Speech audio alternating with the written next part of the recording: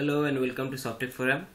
Today we'll be learning how to create the scattered and polar report, polar chart report in SSRS. So let me take one simple select statement from my query window uh, where I, have the sales details and let me go to SS, SSDT SQL Server Data Tool and there I'll take one new reports over there and new item report and I'll take that data source at the shared data source then uh, like uh, as usual i'm taking that shared data source always because it is easy for you to handle like uh, every time no need to add the data set no need to create the data source again and again. And you can use that data set what you have defined for the project level. So i have now report is quite ready. Now if you're inserting the reports and there you have to go to the chart now this is the kind of chart report is coming. I have shown you in my first video of this uh, like uh, uh, like previous couple of videos i have shown you how to create this chart report how to create the line report how we combine this chart and line report how we can create that polar report. This is sorry uh, pie chart report.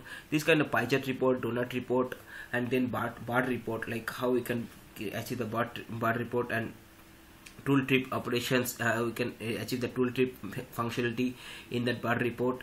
Then area report also I have shown in my last video in range also. Now in this video like i'll be showing you the how, what is the scatter report you know. Scatter report you just click over there and click on ok. And uh, there you just uh, to see the data levels click on there and uh, one second. See the data levels. Okay i haven't created anything. So let let me do item sold and region. So that's it. So this report is quite ready and uh, show data levels. Now do the preview. You'll see that one scattered report will be generated. Scattered report will be looks like this.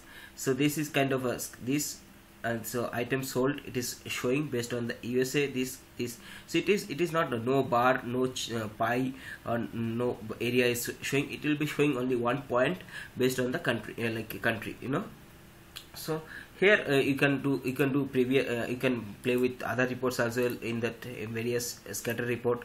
So it will be looks like this. And uh, that scatter report will be this a bit um, like uh, that uh, shape of the report will be changed. That nothing else. Function will be remain same. 3d bubble report it will be looks quite better. If you are seeing previewing the report you will see that looks wise it is quite better. But functionality there is absolutely no change. Now if you want to do that pie chart polar report. Polar report is also quite similar to that and uh, polar report will not be very applicable with this kind of uh, data because it, here we are seeing some statistical report right? Polar report when you are when you are showing something graphical graphical like uh, eh, based on that india or asia or like uh, sri lanka or usa based on the graphic graphical uh, like uh, geographical representation when you are doing uh, based on the positions and all their polar report will be very very helpful. Otherwise it is not that much useful but I can I can you can give a try with this. So you'll see that it is not like like it is nothing is visible over there.